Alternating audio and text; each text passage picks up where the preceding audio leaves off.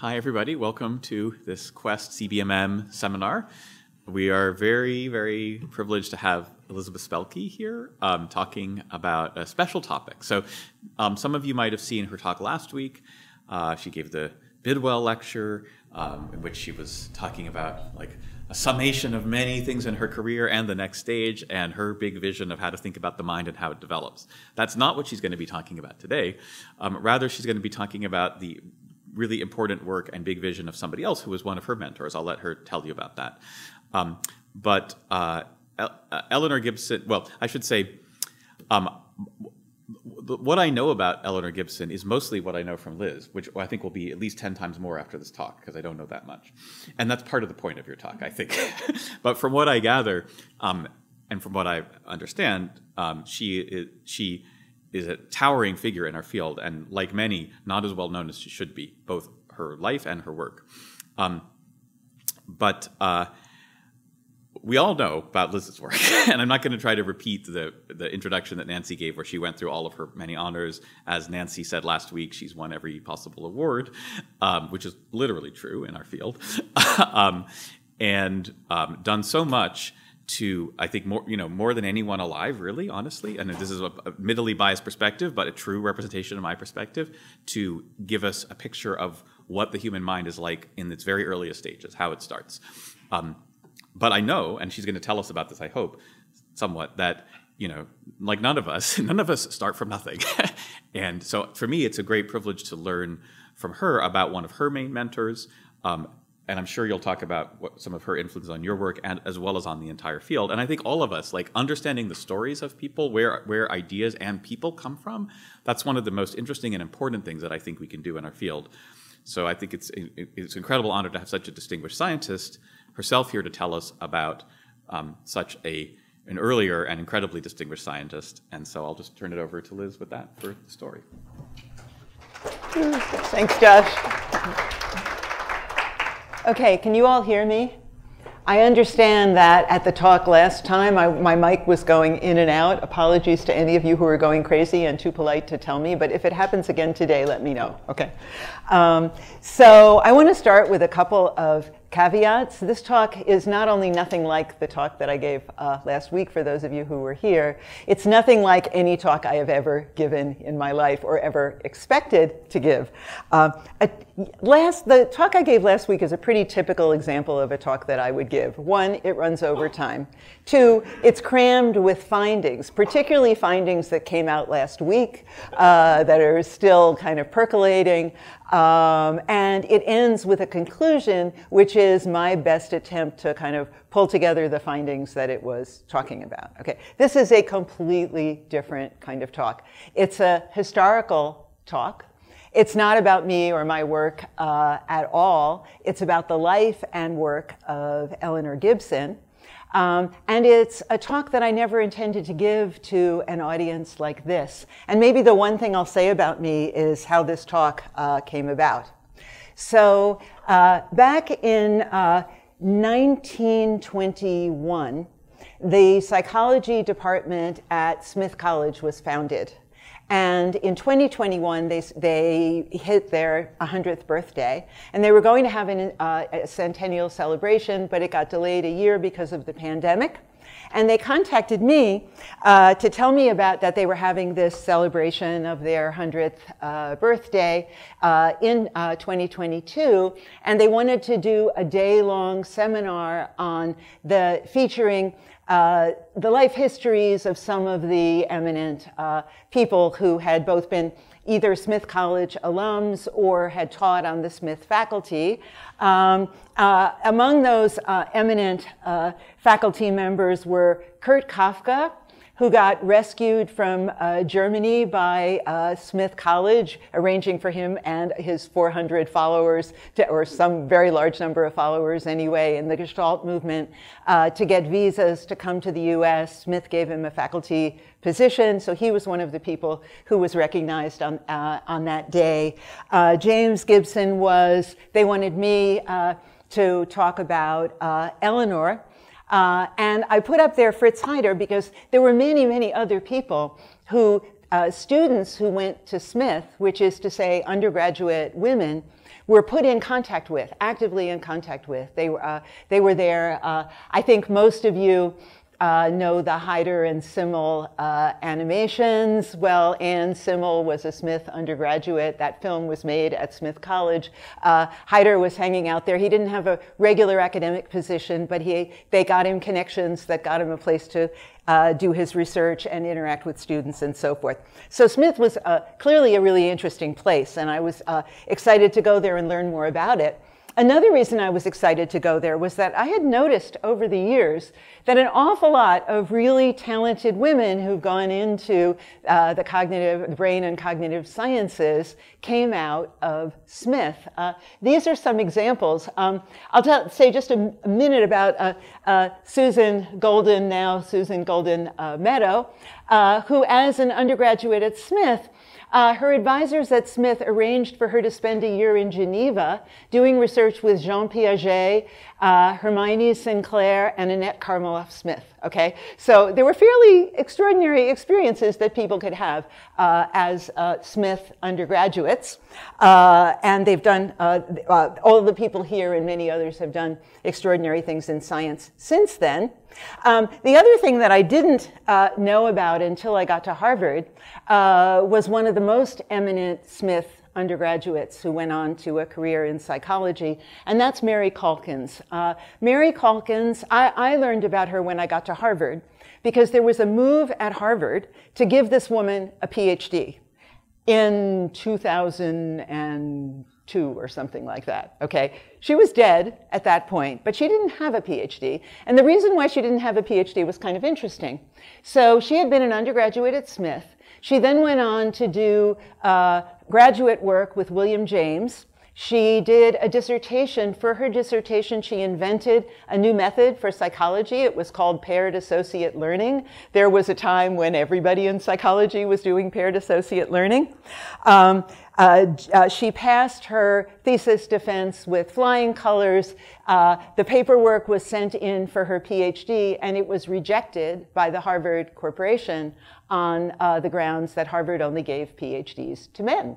Okay? So James protested. He pushed back. And Harvard did a perfectly ridiculous thing. They decided, okay, she can have a PhD, but she can't have a PhD from Harvard because Harvard is only for, you know, men.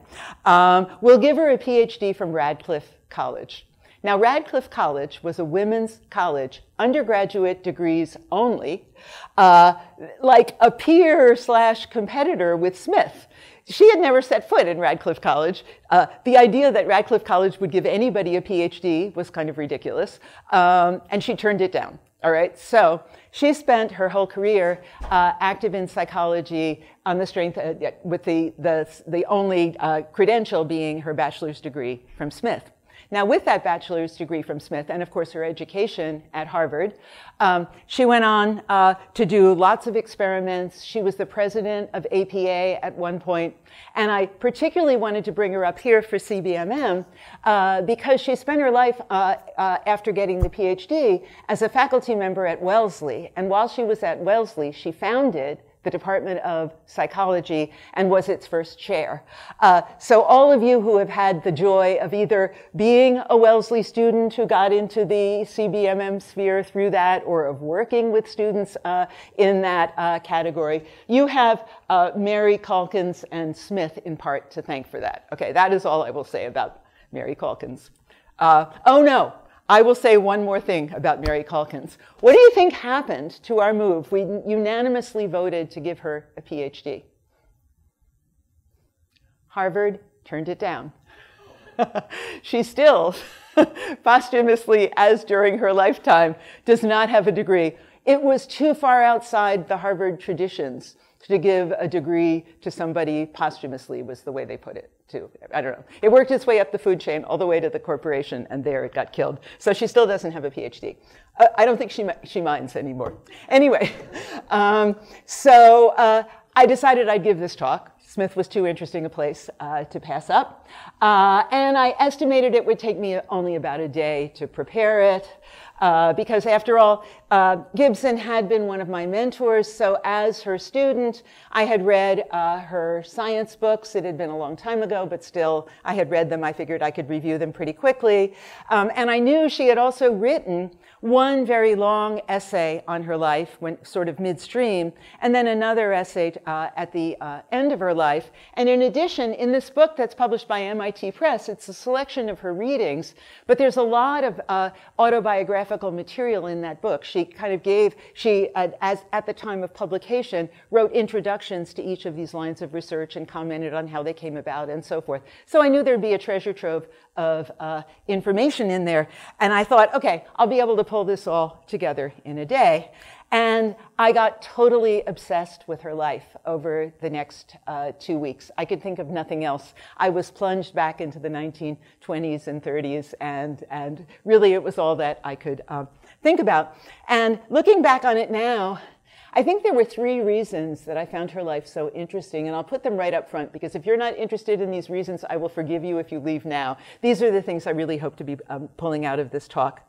First, it was a story of successful living under adversity.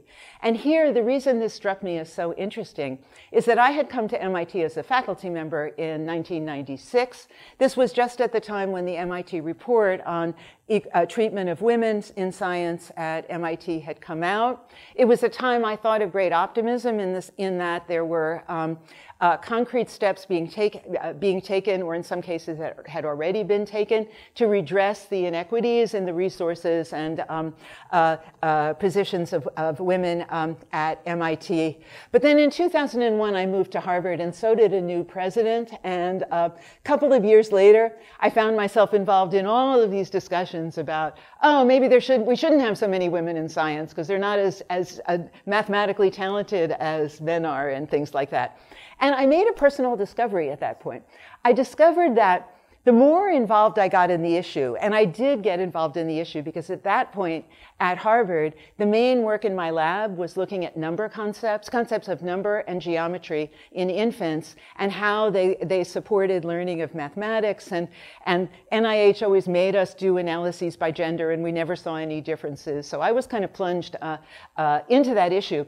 But I discovered that the more time I spent in discussions about inequities in science involving women, that is to say, inequities that kind of involved me personally, the less fun I was having in my science. And I eventually decided, okay, I'm going to take a break from all that. I'm going to go back to my science. You can change the world of science or you can love the science that you're doing, but I thought you couldn't do both at once. And then I had this spectacular counterexample from Eleanor Gibson. Now, her life in science was a zillion times more challenging than mine, as you are, or anybody else's, I think, who was at MIT at the time, um, as uh, I think you'll see over the course of this talk. But she loved every minute of what she was doing. And her love and enthusiasm for the work that she was doing comes through on every page of her autobiographies. And it came through in real life to those of us who were lucky enough to know her. Okay. So this for me raised this, this huge question of how do we create environments in which people from underrepresented groups not only get their inequities resolved, but get to have a good time in the process, right? Get to be engaged in their work and supported and so they can throw themselves into it, forget everything else and have a fabulous time. Okay, so that's question one. Um, the second reason I got obsessed by this story was that learning more about Gibson through her autobiographies meant learning more about Smith. And uh, here, it kind of upset my ideas about how great uh, academic institutions uh, come to be. I think my assumption was that to be a great institution, you want to have a long, you want to have a long tradition and a lot of money. Uh, and you also probably want to be near a place where like spin-offs of science and technology and business and things like that uh, uh, are happening. Uh, and then once you start being a major institution, it, it, it snowballs because then it's easier for you to get good people to come there, and then other people want to come there to work with them and so forth. Okay? Um, well, Smith is a spectacular counterexample to that rule. Okay? Um, so in the 20s and the 30s, at least, and I think for some time after, really great psychology was done at, at Smith. Um, Gibson reports that when he graduated, James Gibson, when he graduated from Princeton, there were three great places to go to study uh, perception. There was Harvard, there was Yale, and there was Smith okay? Um, so it was really on uh, the map at that point. But what was it? It was a small college. It was undergraduates and master's students only. They weren't giving out any PhDs then or now. Um, it was for women only. Places like Harvard and Yale weren't even letting women in, right? Women weren't even part of, like, on the radar screen for, uh, for getting educated. Plus, it was in the middle of nowhere, right? In the Pioneer Valley in Massachusetts, away from all the uh, urban centers. And, and for me, that just raised the question, what made Smith uh, so great? Um, and then the third reason I got interested in it um, is I think it's a story of how to do good science that might serve as an interesting counter narrative to the reproducibility movement that we've all um, uh, been uh, living through. Now, that's not to say that uh, the reproducibility movement has not been a good thing. I think it's been a very good thing. Um, but I think it's, it's suggested a picture of science that doesn't quite gel for me. Um, uh, the picture is that what scientists really want is to be famous, get their next grant, get tenure, or, you know, or win awards, stuff like that, rather than what our science is really motivated by is curiosity, like this insatiable curiosity. I want to understand how this uh, uh, system works. Uh, so I was also uh, some of what spun off of this movement hit very close to home because there were a lot of people looking very, very hard at studies of infants that were based on what I thought were the, and still think, are the absolute best me- method, measures to use if you're going to do behavioral studies of infants.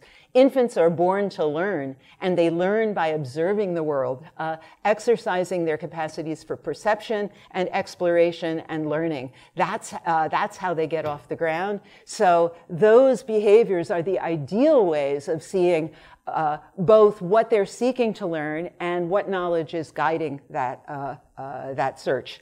But these methods had come under um, intense criticism uh, and in reading about Gibson, I was reminded that it was her generation that developed these methods and used them to spectacularly good effect.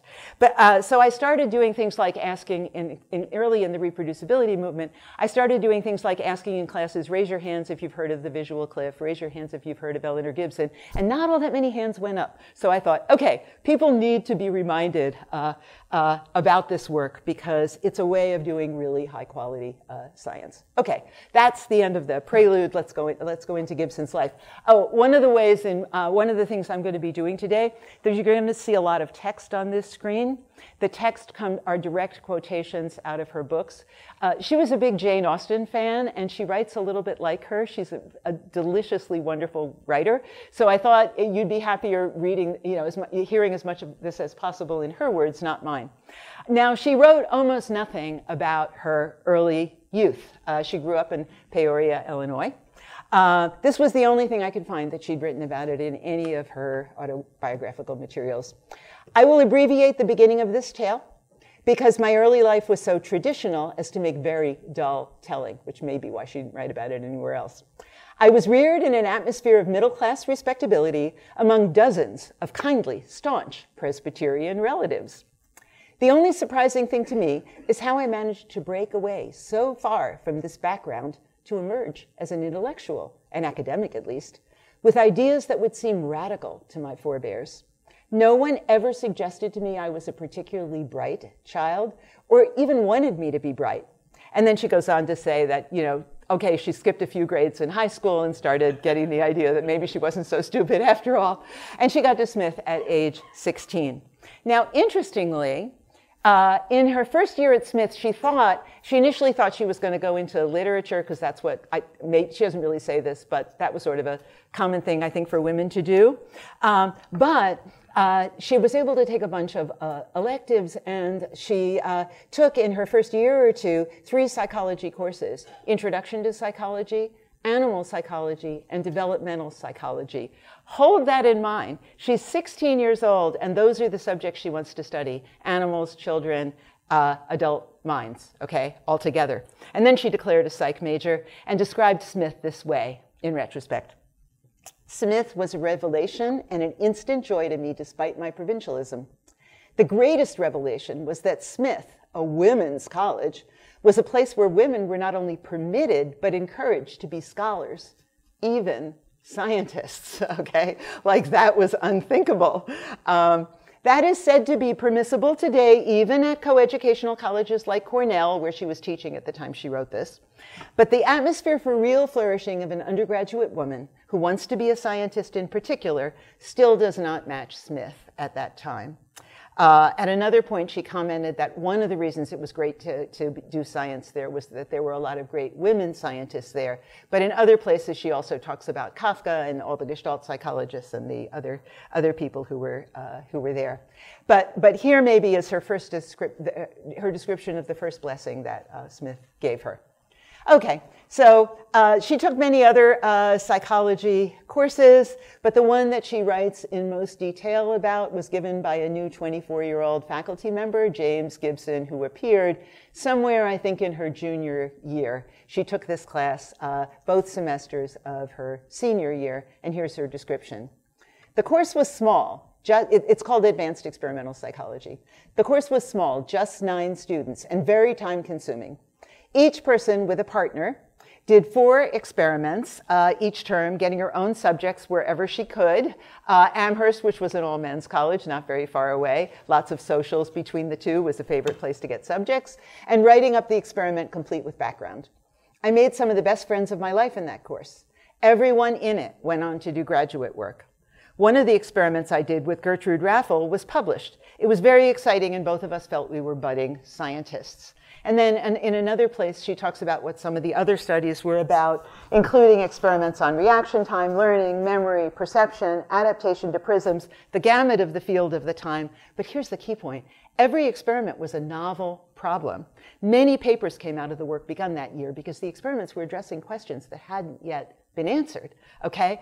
Um, I hope that resonates with some of you in CBMM. I feel like there's a lot of work here that's, that's kind of breaking ground that hadn't been broken before, uh, and, that, and that even undergrad, undergraduates can become involved in part of, of, the process of actually figuring out for the first time, not just repeating other people's classic exper experiments, but figuring out for the first time how something works. Um, so this, I think, is the second blessing that she attributes uh, to Smith. I want to talk about just one of the experiments that she describes that she conducted that, that year. This is the experiment with Gertrude Raffel.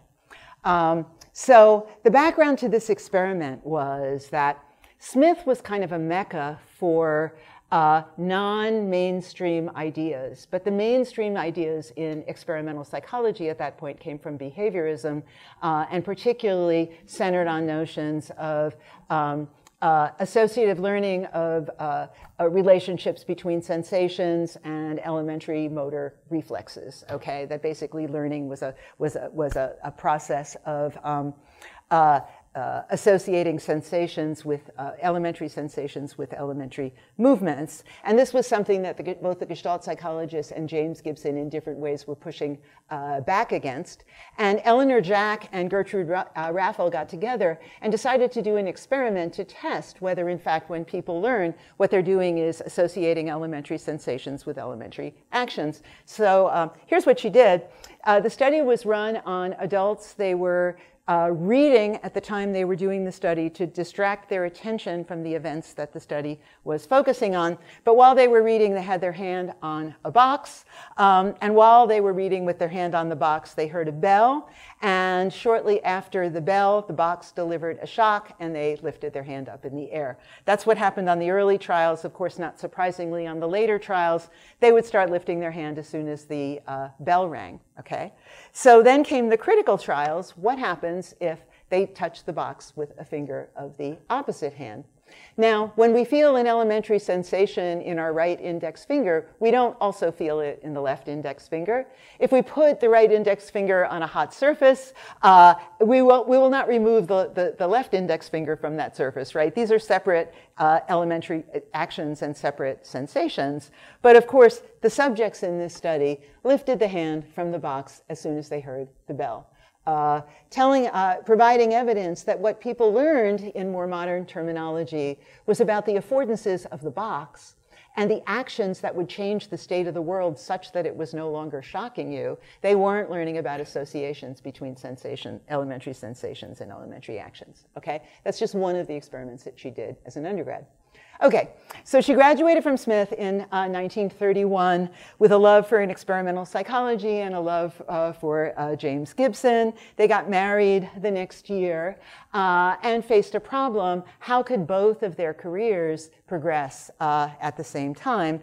And here Smith came with a third blessing. Um, they offered Eleanor entry into a two years master's program she needed money to support herself at, the, uh, at this point. This is the Great Depression that's going on. Um, her, her family couldn't afford to support her. Um, so they gave her a teaching assistantship to defray her uh, living expenses while she studied for a master's degree uh, at Smith. Okay, and for four years they uh, lived there. She did research. She uh, uh, for the master's, and she taught, and they were together.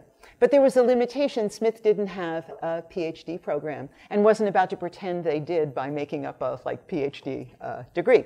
So uh, she had to go somewhere else. And the closest and it looked like most promising place would be Yale.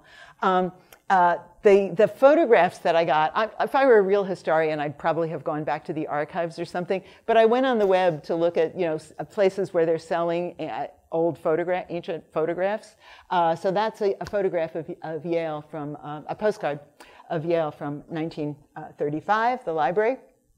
She went there with the goal of studying um, either comparative psychology or developmental psychology.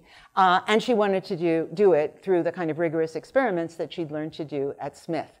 Uh, and she knew that she describes how Yale was organized at the time. It was organized as a feudal system. You had the feudal lord of each area. So for comparative psychology, it was Yerkes. For developmental psychology, it was Gesell. For experimental psychology uh, of learning and uh, memory, it was Clark Hull. Uh, and doing a, a, PhD meant working in the labs of one of those people, either with them directly or with one of their minions who were uh, working under them. That was how Yale worked at the time. Um, so she went there, and her first uh, desire was to um, uh, do a, do a PhD thesis in comparative psychology, uh, but with uh, developmental psychology as a backup. But she quickly discovered that she wasn't going to be able to do this because the reigning developmental uh, uh, child psychologist was Arnold Gesell, who did testing of kids but didn't do experiments. Okay, um, and the reigning comparative psychologist Yerkes did do experiments, but when she tried to get an appointment with him, it took like three weeks for her to get one. And when she got one, it lasted like three minutes because she came in and announced that she wanted to work with him, and he stood up and opened his door and said, "There are no women in my lab." So she couldn't work in either of those uh, areas. Um, she also had other problems. Uh, Yale, uh, they had decided that under very special circumstances, they would accept women into their PhD program, unlike Harvard, okay? Uh, however, uh, women were very limited in their abilities to operate on the, on the Yale campus. For example, they weren't allowed into the graduate student housing, and they weren't even allowed into the graduate uh, library where all the psychology journals and materials were kept. So she would have to get some male student to go if she wanted to read a journal article uh, and get it out of the uh, library for her. Um, it was also not a great time to be poor because you had to pay tuition to go to Yale. If you were a man, you were eligible for fellowships, but there were no fellowships available for women. And along came Smith again. They awarded her a fellowship uh, that covered Yale's tuition and also a small stipend that went some distant, uh, distance towards paying for her uh, room and board since she couldn't qualify for graduate student housing. But unfortunately, they could only offer this for one year which meant that from the moment she arrived, she had exactly one year to fulfill all the residency requirements, get an advisor for her thesis, have a uh, thesis prospectus meeting, and get it, get it approved before the money ran out and she had to go back to Smith. So she turned uh, to uh, Clark Hull. Clark Hull, whose theory was all based on associations of elementary sensations with elementary actions, which her work had been kind of undermining. Um, but she found a path to a set of experiments that they could both live with, um, and completed all the residency requirements in one year and returned to the welcoming environment in Northampton of Smith College. Do you have a question, Josh? No? Okay. um, so here comes Smith's fifth, fifth blessing, as she reports.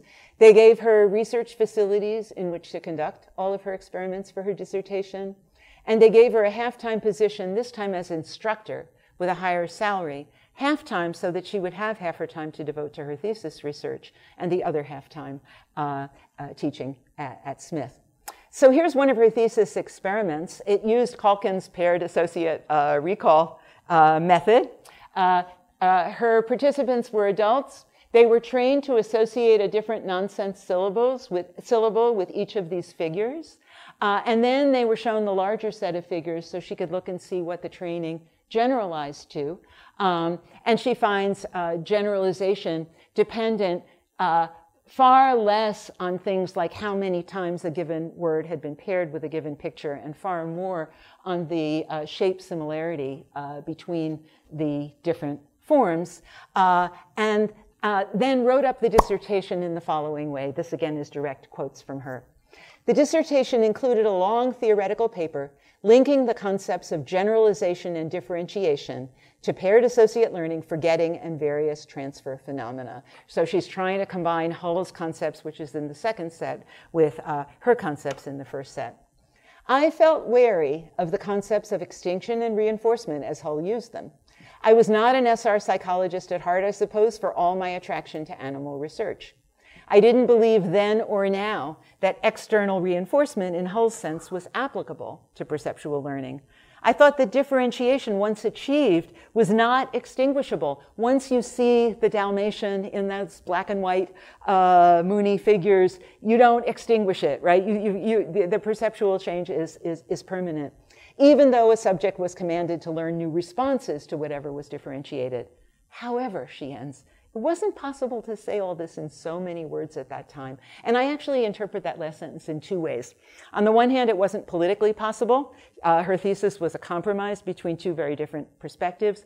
But on the other hand, her perspective was also still developing. She was kind of at the beginning of her research career at this point and not quite ready to say, how is it that perception can bring about permanent changes in how we experience the world and through what kinds of processes do we, uh, do we perceive?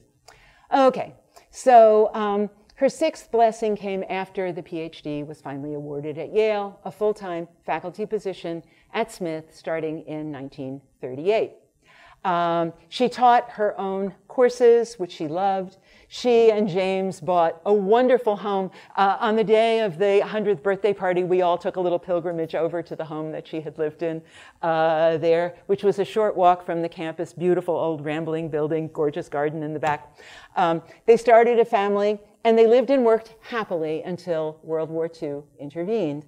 Um, in uh, 1941, James Gibson and a whole, a whole, bunch of other male faculty at Smith were called up by the Army, uh, actually the Navy in, in, uh, in uh, Gibson's case, uh, to join uh, the research wing of the war effort. And they left first for Texas and then for California. Um, uh, Eleanor stayed, and the other women on the faculty stayed on, taking over all the men's courses, teaching, uh, doubling their at least their uh, teaching load. Uh, but at the end of that year, Eleanor at that they, Eleanor and James at that point had a son, and there was a daughter on the way. So she uh, left her teaching job at Smith and went and and was inactive in psychology for the uh, during the war years. all of the work that James was doing was classified, and she wasn't allowed to uh, share in it. So it was a very fruitful period for him. He was developing all these ideas about optic flow guiding planes land and the ground surface guiding planes landing. And I'm sure they talked. They must have talked about them together at night. But she wasn't actively involved in uh, in that research. But then comes the final blessing. The war ended, and in 1946, Smith, uh, welcomed both Gibsons back, now with two full faculty uh, positions, lab space. So um, uh, uh, they were both independently there. Now that's the end of the narrative part that I'm going to give of Gibson's life. For the rest of it, I want to talk about just about her science. But let me start, well, her science and the, and the personal contact, context in which it happened. Um, but let me start with a chronology so you know where we're going. Here's the timeline. In 1946, as I said, the Gibsons returned to Smith as two full-time faculty members able to continue their careers. In 1949, they moved to Cornell, where James joined the faculty, but Cornell had an anti-nepotism rules that you couldn't have two married people on the faculty at the same, at least certainly not in the same department, I think not at the same institution, okay? Um, so there was no position uh, for Eleanor. Uh, initially, uh, all the work that Eleanor did at Cornell, she did completely volunteer. Uh, she had no status uh, for doing it. She had to be personally invited into other people's labs, usually on the condition that she run all their experiments for free, and then they would give her, you know, if she had any time left, she could run experiments uh, uh, of her own. Then later, uh, she did get um, a research position there that didn't pay her any money, but allowed her to write grants in other faculty members' names so that they could pay her as a research assistant on the grant that, uh, that she had written. Um, that continued until 1966. In 1966, she got a half-time. Uh, by the way, she describes all this totally matter of factly. It's not at all like hand wringing, like, oh, this was a terrible situation. It's like, oh, I got this opportunity to do this work, and here's the, here are the conditions under which I did it. If, if, if there's hand wringing going on, you're hearing it from me, not from her, okay? Anyway, um, in 1966, she got a half time professorship in psychology at uh, Cornell with no lab. Um, in 1972, uh, she actually got a named chair, the Susan Linn Sage Professor of Psychology, and for the first time, a full-time professorship and space to start her own laboratory. Yay. In 1975, Cornell activated its mandatory retirement rule. Now, here's what went down. I was around for this part of it. Uh, here's what went down.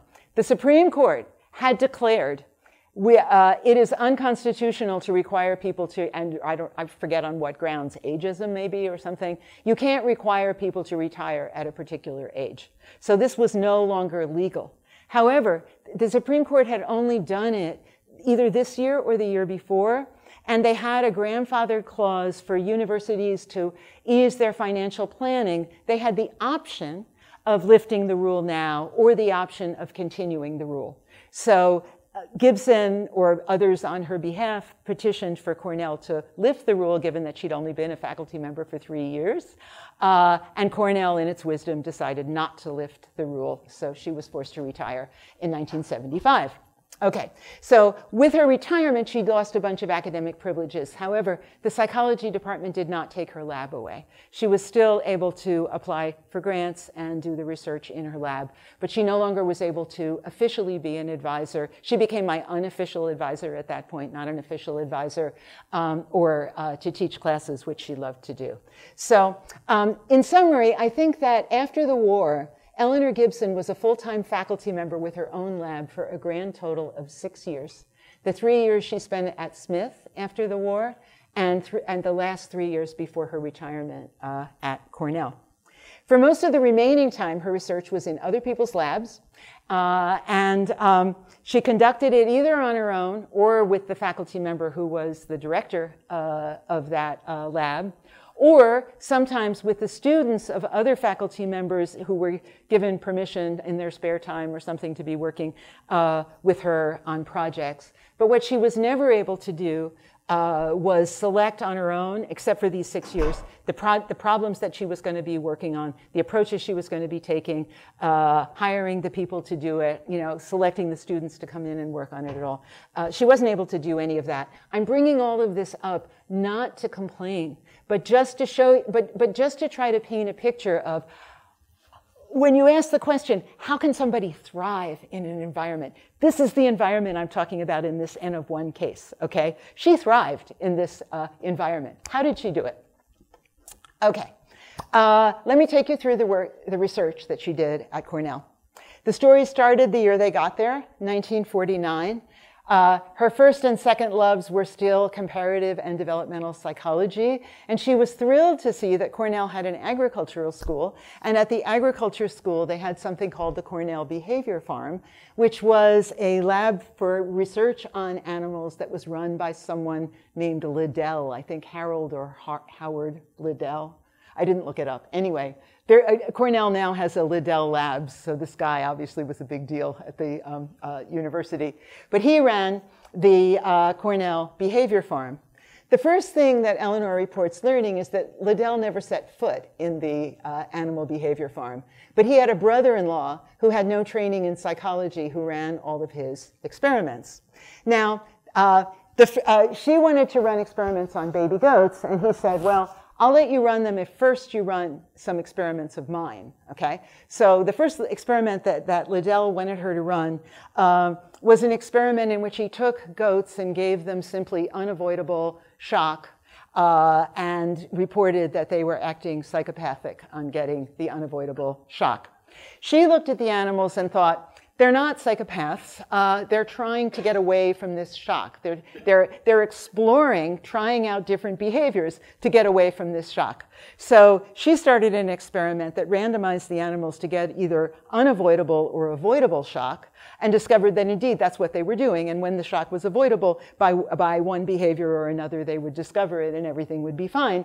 And it was only the ones for whom there was no way to avoid it that would eventually, after trying out all these different behaviors, give up. So um, uh, she published a paper in the Journal of Comparative and Physiological Psychology in 1952, where she talked, where she described uh, her experiment and this phenomenon. Now, if it sounds familiar to you, it might be because the very same journal, 15 years later, published another paper by Marty Seligman and Overmier, whoever that is, uh, called Learned Helplessness, never citing her paper, by the way, uh, but basically reporting the uh, same phenomenon. Um, I was curious, so I went and looked and saw um, they did a grand review of 50 years of research on um, learned helplessness that came out not that long ago. Again, not, cert, uh, not uh, citing her. If they had cited her, it would have had to be 65 years of research, not 50. But anyway, one way or the other. So that was the first thing she did at Cornell. Uh, not bad for a start. Her next experiment, though, is the one that I think would really was really promised to be gorgeous. Um, and it covered ter territory that Harry Harlow was going to uh, pursue much less uh, uh, effectively, I think, uh, some years later, okay? What she did was the following. She was interested in maternal behavior, and she wanted to know what the effects of maternal care on infant animals were above and beyond um, the obvious effects of the animals getting their genes and their nutrition from their mother and, and, and, and so forth. So she decided to look at this phenomenon in goats because goats are born as twins. So uh, she, uh, she designed an experiment where you would take the two twins at the moment they were born, and one of them is randomized to be raised by the mother under normal conditions on the behavior farm. And the other one is going to get equally uh, high quality care and feeding and um, attention from a, from a human uh, uh, who's taking care, uh, caregiver, okay? So you've got one going to the mother, one not. Uh, in this way, you obviously control the, the genetic relationship between the two animals and the mother, uh, their shared genes, but you also uh, control their shared prenatal, environment, the prenatal environment of the two goats uh, that were randomized to the, uh, to the different conditions, um, the, the, shared prenatal environment, and also um, uh, control for the shared environmental effects that might cause one mother to be different from another because they both got the same mother. Okay, really nicely designed study, which was never completed because the brother-in-law who was in charge of everything, when um, Eleanor Gibson came in one day, very much like today, just after an Easter weekend, to discover that the animals in her control group had been given away for Easter dinner. Okay? Now, that's not the part of the story that drove her wild. I very rarely saw her get upset.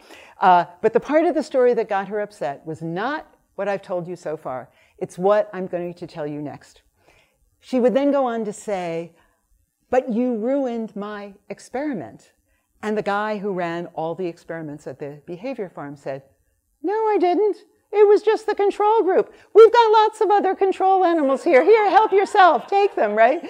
She was infuriated that, that Cornell University had turned this glorious facility over to someone who was completely clueless about how to run a good experiment, okay? Uh, so, anyway, where are we? Um, yes, uh, it ended with the killing of her control group. It would have been Harlow's experiment seven years earlier with, I think, a much better design, certainly a more ethical one. Um, and it, on that, uh, upon that, she decided she had to leave the behavior farm. One more good thing did come out of her time there, though.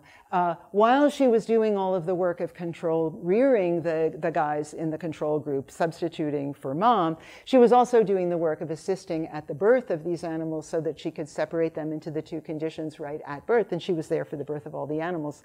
Um, but she had a veterinarian helping her. And it sounds like the veterinarian understood animals way better than the brother in law did. But anyway, um, the veterinarian would help with the delivery of the first goat and then give it to her and say, put that goat down, and either put him down on the ground or put him down on a little pedestal. And she said, Well, I can't put him down on a little pedestal. He's going to fall off. And the guy said, No, he won't. so that was her first observation that a goat placed on an extended surface would move around on that surface. But indeed, the veterinarian was right. Place the goat on a small stool, and the goat would quite calmly, not afraid, but quite calmly stay still on the stool, not uh, attempt to walk off it or fall off it. Okay, so she made that observation, but she had to change fields and couldn't come back to it for a while. The next thing she did uh, was leave the study, uh, studies of animals and of early development and go to studies of adults, where the goal of these studies was to take classical questions in uh, visual psychophysics out of the lab and into the open air. They called these open air psychophysics experiments, and I adore them. Uh, let me just tell you about them quickly. The um, participants in these studies, they were adults, they were recruits from a nearby Navy, Navy base. Uh, the studies were run at Cornell on a big, wide open flat, relatively flat field. This is a picture uh, of the field. Uh, the materials used in these studies were poles of varying lengths. You see some examples uh, in the picture. A bicycle, um, a person who rode on the bicycle, and a whistle that they gave to, the, to one of the recruits who was the subject in the experiment. And now she would do experiments on size perception and distance perception. So, for example, in the real world version of this, I don't know if you can see it well, but there's a pole there in the distance, and you need to say which of the, these poles up close is the same height as the pole that's, uh, that, they're, that you're looking at, maybe, I don't know, 100 yards away or so doesn't, it's not showing up well, I'm sorry, but it's in the middle uh, in the distance there between the, the two rows of poles. So size matching experiment. But they also did distance experiments, and for the distance experiments, they used a guy on, a, on, on, the bicycle. Um, he would start at one pole, and then people would have to judge. Uh, blow your whistle when he, when he goes half the distance between that pole and where you are now. Okay, so like a ratio judgment. Or he would place poles at different locations and they'd have to judge which one was further away, different locations and directions. Um, or they would do, have to do absolute judgments. Uh, okay, uh, you're on the bicycle, ride the bicycle until you are 50 strides away from, you know, you reach a point that would be 50 strides away from where you started, and how well could people um, judge distance uh, that way. Uh, the findings from the studies uh, provided evidence for uh, the importance of cues to depth that you get in real scenes that you don't get from static pictures, like optic flow. Um, they did all the studies both ways, with pictures and with uh, real scenes. They also brought some of them into the lab and did studies with shadow casters, so you only had the optic um, uh, flow information, and people were using that. Um, all new ways of studying uh, space, uh, space perception, okay? Uh, applied first to adults. Here's her description. The field experiments were very straightforward investigations of the things I was just telling you about. A lot of important muddles got straightened out, such as the confounding of perceptual learning with response bias and the danger of generalizing from photographs to real uh, space. It also became pretty obvious that young human adults were very skilled without training at making relative judgments of distance even over a large area, okay? Um, and she felt in this way like she's finally starting to stake out um, a, a research uh, enterprise in perceptual learning of the sort she was, she was aiming for in her thesis work with Clark Hull, uh, but with um, uh, much better uh, experimental methods. She also, around this time, started um, uh, uh, moving toward a theory of perceptual learning. I see the time is running short, so I'm not going to um, uh, read her quotations on this, but, let but, but I will read li- the beginning of the second one. This is, I think, important. That the key notion is that perceptual learning, uh, it's a change in what's, a permanent change in what's perceived that's best uh, conceived of as increasing differentiation, that you become sensitive to distinctions that you weren't sensitive to before. And she did a nice experiment with scribbles that's a little like some of the stuff you've done, Josh, um, where uh, people are just shown one of these scribbles, uh, and then that one scribble appears in a deck many different times along with the other scribbles that are up there. And the task is to sort them so you distinguish that one from the others. And initially, it's virtually impossible, but people get much better at it uh, over time. Um, so, and they found, oh, and they did it not only um, uh, as changes in practice with adults, but also in experiments with children, where children got better at this uh, uh, overdevelopment as well. They had a big debate uh, with uh, Jerry Bruner and Leo um, uh, Postman on the nature of perceptual learning and what drives it. on their side, the idea that it's um, uh, there's rich information that perception can be guided by, and we learn to take better advantage of it, uh, and also uh, to coordinate it with our actions, to perceive affordances of things for actions, against the notion that uh, what changes over perception is uh, you come to have opinions and beliefs about the world that you impose on your perceptual experience top down. Okay? Uh, so in Bruner's case, the, the, the, classic example of this that Gibson keeps coming back to is the new look in perception. So you're hungry and the hamburger, the picture of the hamburger looks bigger okay? Or Molly Potter's study that she and Bruner did, right? Where um, you're slower to see that a, that a photograph coming into focus is a fire hydrant if you adopt the hypothesis that it's a telephone booth, right? And the Gibsons were really opposed to this idea that somehow perception is a matter of taking highly ambiguous information and projecting your own opinions or concerns onto it. She thought it was a matter of getting information about the world uh, from the um, stimulus um, uh, patterns that were available. Uh, but uh, one of the things I, the, the, one, the only thing I'll, I'll, you don't need to read this whole thing, but the only thing I'll try to highlight here is that when, she deba- when they debated these issues, it was in an extremely friendly and exhilarating way, right? She, they, she and Jimmy Gibson loved to debate. So the idea that somebody would be challenging their views was like really exciting and fun. Um, and this was actually another point where I got excited in reading Gibson's description of this because it suggested to me a connection that I had never made before. Um, when Susan Carey and I first got to Harvard, um, people, I would hear from back channels that people would have wondered to each other, like, how can we be in a program where the two people who run it hate each other? Look, they're arguing all the time, right? They have totally different ideas about how concepts grow, and they're just arguing about them all the time, right? We love each other. It's really fun to argue with somebody you respect, right? And to push, who will push back on issues and make your arguments better and all of that.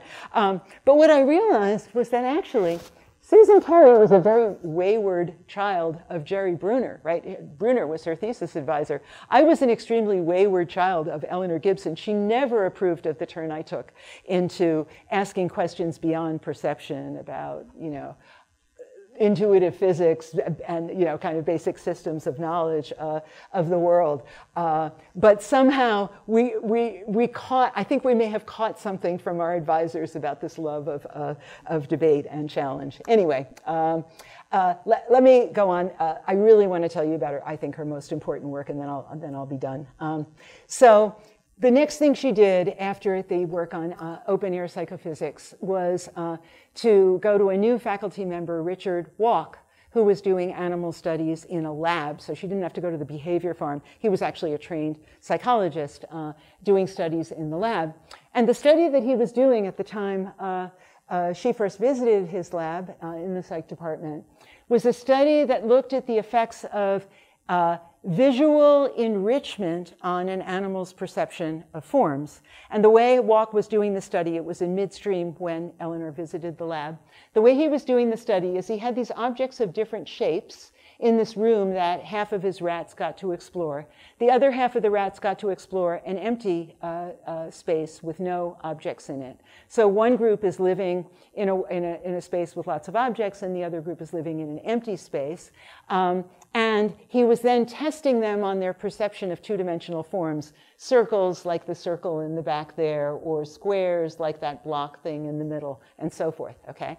So Gibson took one look at. Um, uh, his displays and said, well, yeah, uh, they, they probably, they might well do better if they're in this enriched environment with the circles, but it might not be because of the visual information. They also get to crawl over these objects. You know, these objects are enriching their environment in multiple different ways. If you really want to see whether there's a visual effect, let's, let's um, add a, a, a new condition to this experiment and dark rear the animals, because if it's a visual effect, then it should go away with dark rearing.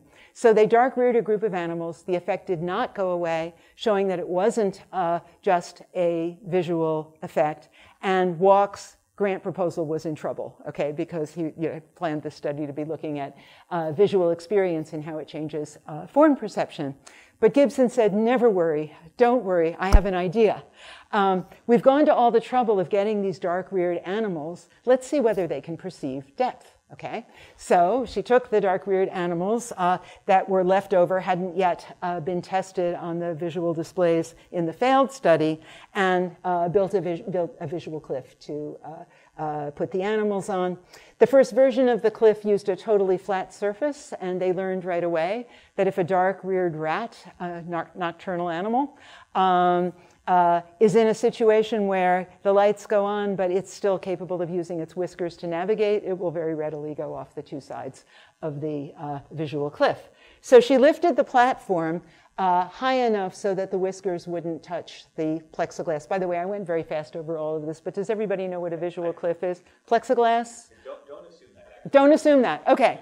Um, what you can't see here is there's glass. Actually, it wasn't plexiglass yet. It was glass at this point. Um, there's a glass sheet that covers this whole display. Immediately underneath that glass sheet is a patterned surface on one side, providing visual information that there's a surface of support there. Uh, uh, uh, there's also a patterned surface under the other glass sheet, but it's much farther below on the ground. Okay? Uh, so as you look out over one side, it looks uh, shallow, like there's a surface just a step down. And as you look out over the other side, it looks like there's a surface quite a distance away. Okay? The rat is on the center board, and the question is which side is he going to uh, descend on? And the finding of the first study was that both the dark reared and the light reared rats, uh, to equal extents, descended on the shallow side and avoided the uh, descent on the deep side, okay? So with those findings, Gibson was finally able to write a grant in, in Walk's name to explore this in a whole variety of different animals and also in human infants. Um, they found that all of the tested animals, except turtles, who looked over the deep side and probably thought, a pond, and went off, okay? Uh, except for them, all of the animals uh, descended uh, preferentially on the uh, shallow side, including the human infants as soon as they could locomote. Of course, pre-locomotor infants couldn't be tested. Then she went on to ask, how was distance being uh, perceived by varying the information that was available uh, for, uh, for distance? One source of information came from the fact that if you put the same pattern on a near side and a far side, uh, it's going to project different images to the eye. The uh, texture is going to be much smaller. The texture elements will be smaller and denser uh, on the uh, more distant uh, surface. So they tested for that by using two surfaces, one with denser patterns and one with uh, less dense patterns. And the animals descended equally on the two sides. So it wasn't texture density that they were relying on. Experiments where you covered one eye showed that it wasn't binocular cues that they were relying on. And mostly by process of elimination at this point, they concluded that it was optic flow that was guiding uh, in, uh, the rat's decisions about which side to cross on the visual cliff. And I think this research led Gibson to three fundamental insights. So let me at least get these out before um, uh, concluding. The first is that visual perception of surface distance is not learned, and that learning, when it does occur, is not a change in responding, it's a change in what we perceive in the situation she studied, I'd say in what we know in the situations all of you guys study, uh, or most of you guys study.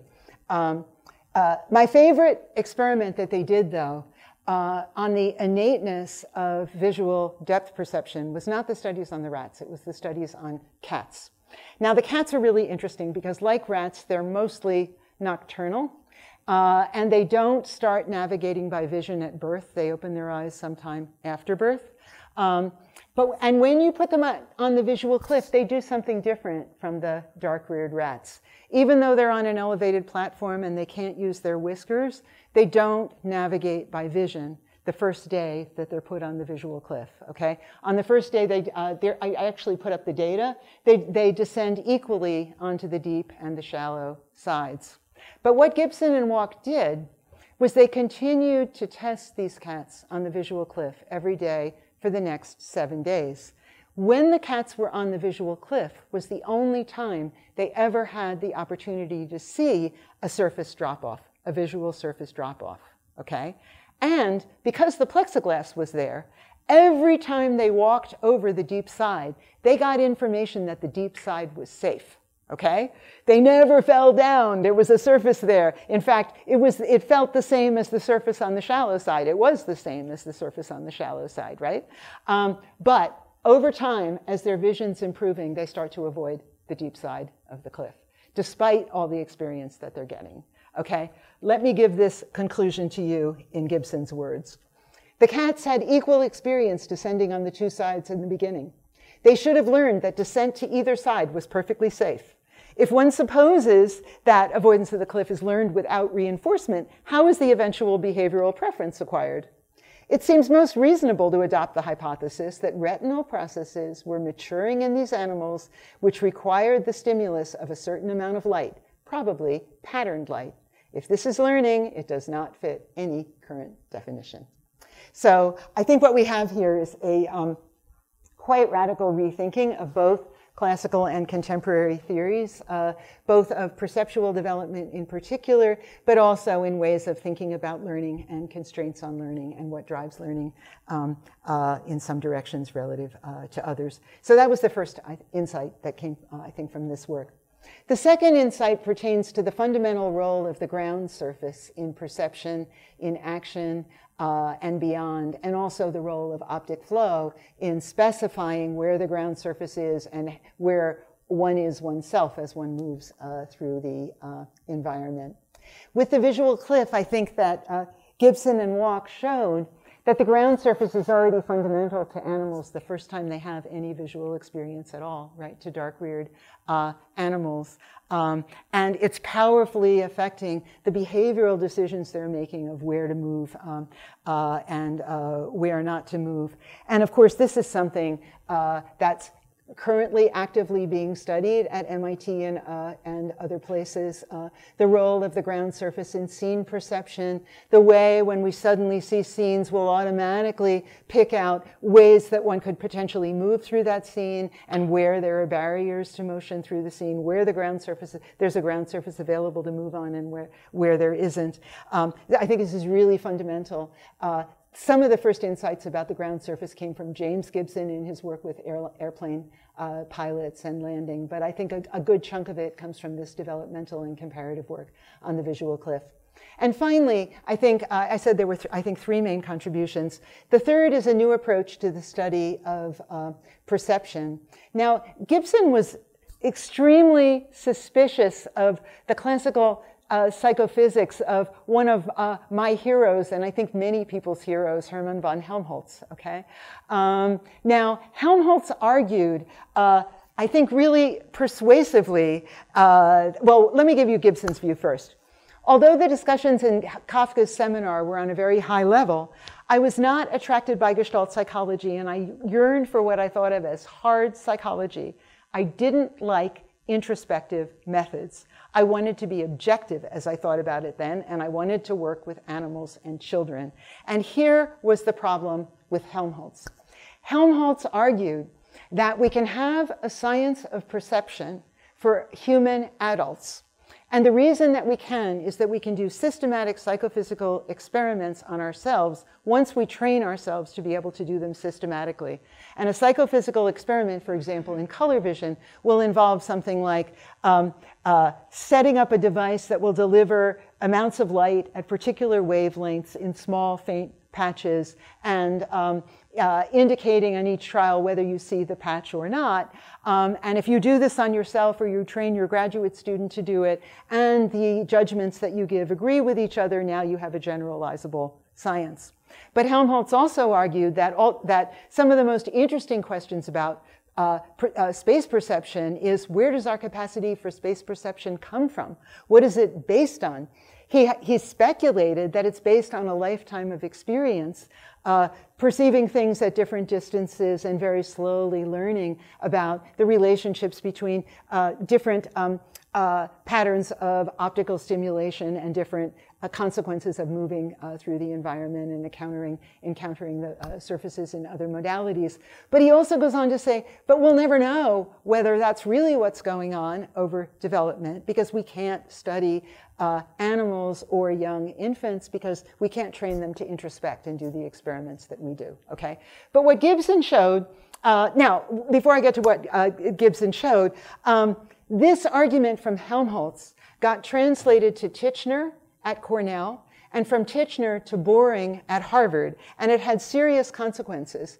At Cornell, Developmental psychology was taught in a school called the School of Human Ecology, formerly called the School of Home Economics. It wasn't taught in, a, in any discipline connected to the sciences because children are not fit subjects for psychophysical experiments, and psychophysics is the paradigm of good science experimental methods, and it relies on introspection. Uh, for Boring, uh, developmental psychology, at least it was in the Faculty of Arts and Sciences, but it wasn't in the Department of Psychology. When I was an undergraduate at Harvard, it, uh, uh, I had to take psych, uh, psych, uh, developmental psychology in a department called social relations, whatever that means, okay? Um, but the visual cliff studies opened a door to developmental cognitive science.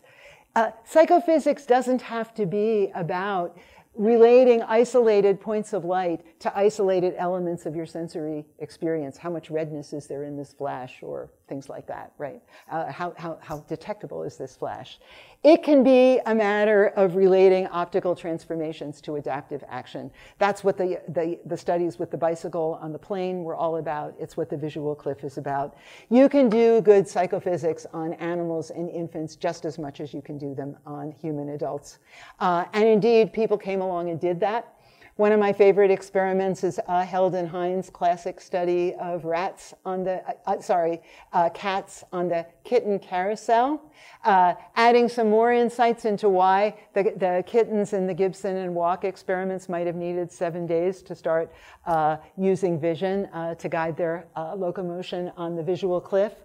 What Held and Hein did was ask to study the effects of active self-produced locomotion versus passive motion, uh, passive visual motion on uh, visual cliff avoidance. By taking cats at birth, rearing them in the dark entirely, except when they were in this apparatus, which was a cylindrically shaped chamber, vertical stripe, black and white stripes on the walls, and a little gondola in the middle on which one cat walked actively, the other cat was transported passively but neither cat was ever able to see their feet or anything else hitting the ground, right? Because both cats had this collar on that blocked their view of their own body. So uh, they're just moving around uh, in space. And what they found was that the guy who's moving actively, even though he can't see where he's stepping on the ground, the very first time he's put on the centerboard of the visual cliff, he avoids the deep side and goes over the shallow side.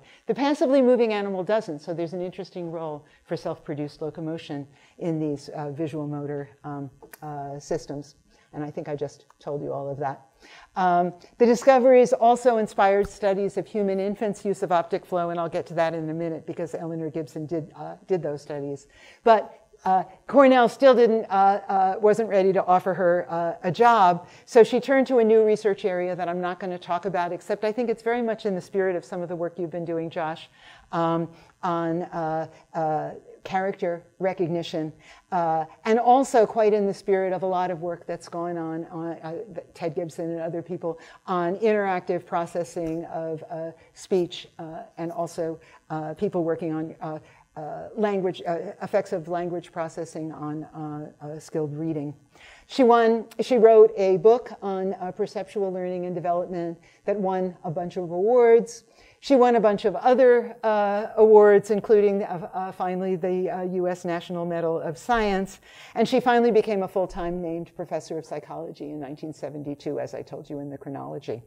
Now, her own experiments uh, uh, focused on studies of perception. She, I actually discovered, I was surprised to see, that in one of her more, her more recent autobiographies, she said I was the first person to do experiments in her lab. Uh, but they certainly looked to me like they were designed in large part by her. One of them was on, uh, I was interested in social perception, so she, she, uh, she must have convinced me to ask, do babies even recognize that a person's the same person when they see them in different contexts doing different things? Uh, I was also interested in intermodal perception. I probably learned that uh, by being a teaching assistant in her course. Uh, but let me focus on some of her studies. She, once she had her own lab, what she wanted to study was perception in human infants. And the first studies she did looked at infants' perception of the rigidity or deformability of surfaces from visual information, from patterns of visual motion.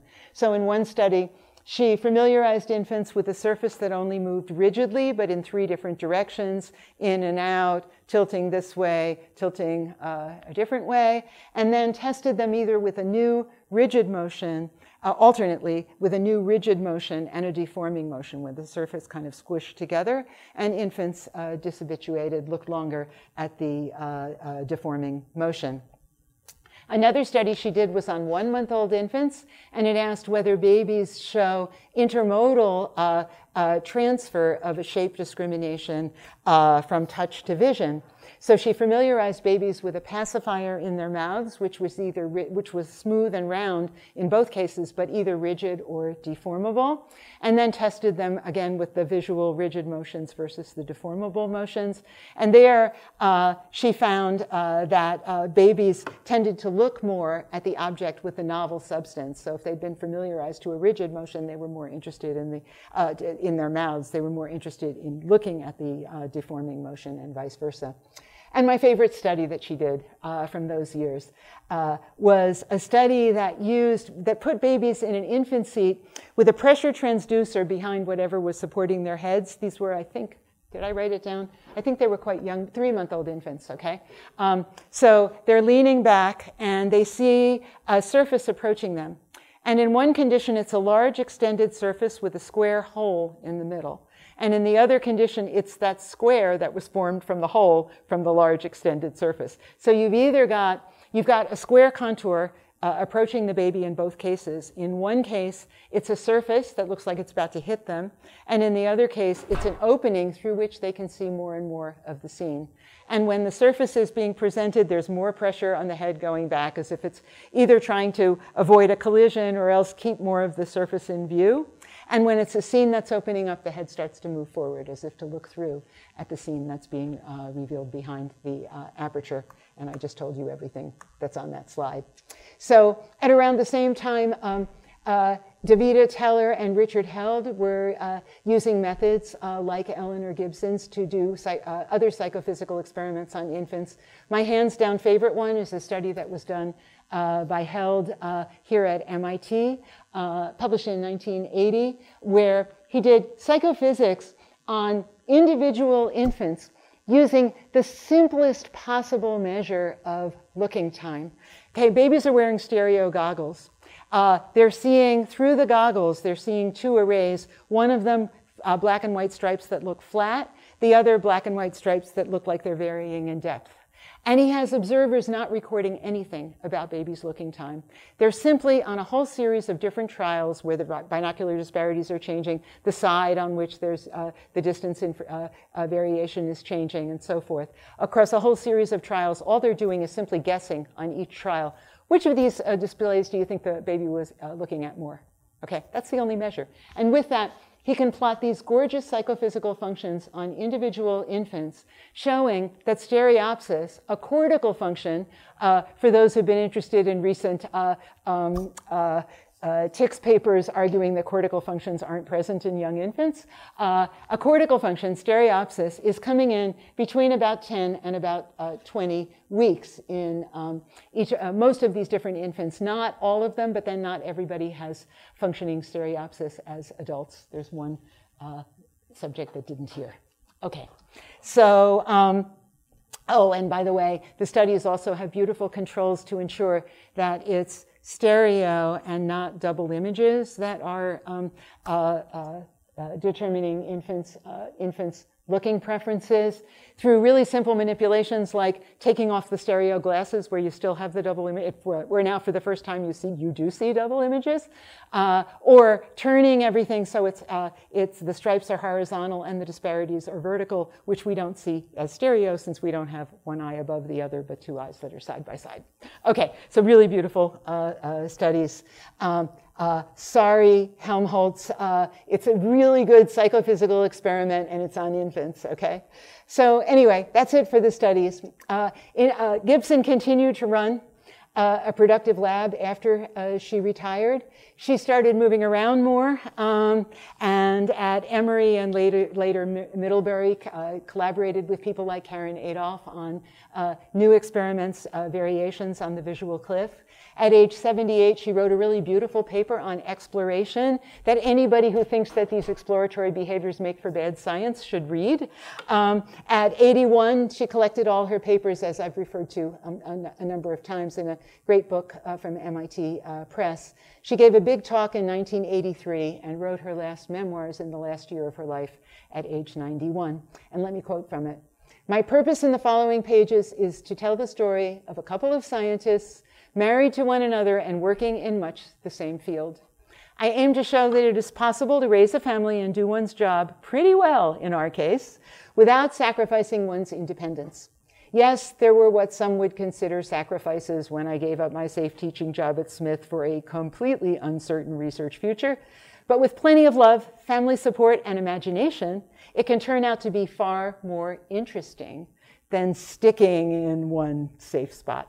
My husband and I both loved intellectual adventure. It led to frequent travel, new friends, well educated children, and most important, some insights in science. So, on doing psychology, uh, science in hard times, Gibson faced setbacks at every turn. She struggled during the Great Depression. She couldn't live on campus as a woman at Yale or use the library. Uh, at, as a faculty member at Smith, she was in a great environment, but everything got derailed by World War II. As the wife of a faculty member at Cornell, she couldn't be hired for decades, and then once she was, she was forced to retire. But you read her, her autobiographical material and you see that her life was a tremendous success and a really happy one. She loved her college years. She married the love of her life and lived, uh, they lived together for as long as he lived, another 47 years. She raised two children, mixing research and parenting. She claimed, I would claim as well, to the benefit of both. She traveled widely, meeting co- colleagues who became close friends, and she never got tired of the uh, work that she was doing, which she continued to the end of her life. So, conclusions? None. The study is underpowered to be drawing any conclusions. But questions for discussion?